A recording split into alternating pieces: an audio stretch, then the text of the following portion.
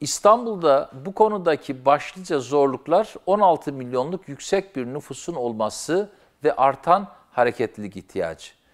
Karmaşık arazi kullanımı, raylı sistem ağının dünya metropollerine göre yetersizliği ve entegrasyon eksikliği, ulaşımda yetki karmaşıklığı nedeniyle bütüncül planlamaya yönelik sorunlar yaşanması ve ilgili kurumlar arası oluşabilen koordinasyondaki eksikliktir.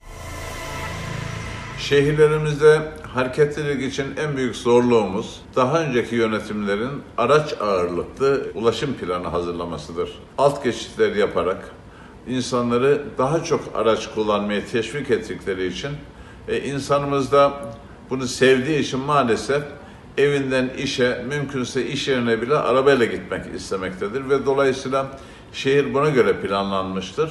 Hareketliliği sağlayacak ulaşımı maalesef zor gerçekleştiriyoruz.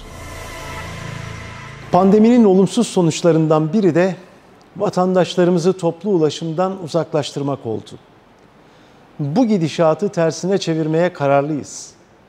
Şehrimizi araçlara değil, insanlara göre planlıyoruz. Özel araç kullanımını özendiren yaklaşımlar yerine toplu, konforlu, sağlıklı, doğa dostu ulaşım yatırımlarına öncelik veriyoruz.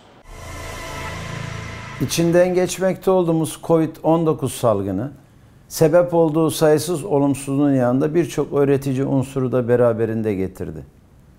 Kent yaşamının doğa ve insan ilişkisi açısından dönüştürülmesi en acil önceliğimiz haline geldi.